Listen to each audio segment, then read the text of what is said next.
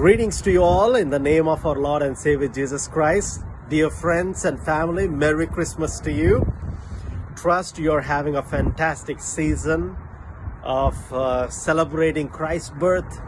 I just want to throw this question at you Who is Jesus to you? When you approach this part of the year, the month of December, what comes to your heart and mind? What is that one thing that communicates to you strongly about Jesus? You know, I want to just uh, remind all of us and uh, ring a bell again, once again, to us that hope we know the true meaning of Christmas and we are celebrating the true Christmas. It is very important that I, my family, my children, knowing the truth about celebrating the Christmas.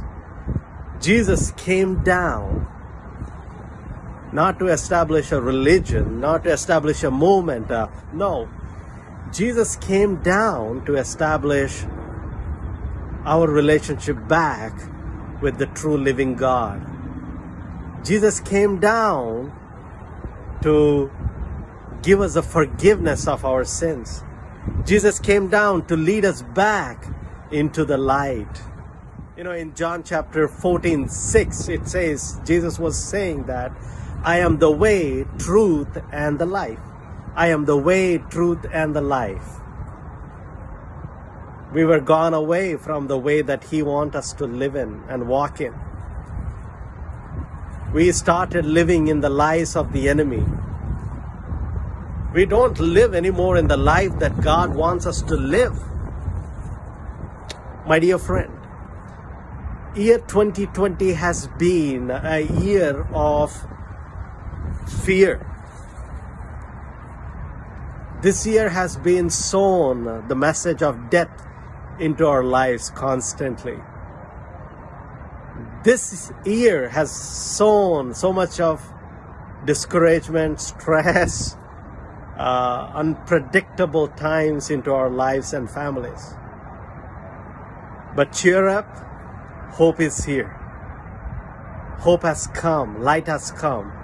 No matter what is going on around you, but if you pause a moment, bring these three points into your heart and mind, into the center of your family, saying, Jesus, you are the way, you are the truth, and you are the life and you will see his peace come into your life. And you will see you truly celebrating the christmas the birth of the lord jesus christ.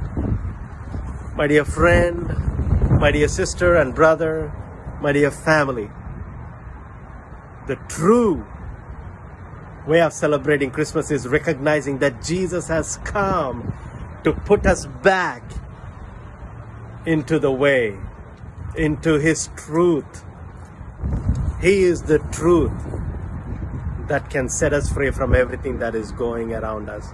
So I take these few moments to encourage us that make sure you know the truth, your family know the truth, and celebrate with all the joy and smiles and exchanging gifts, keeping Him in the center because He is the way, He is the truth, and He is the life forever and ever.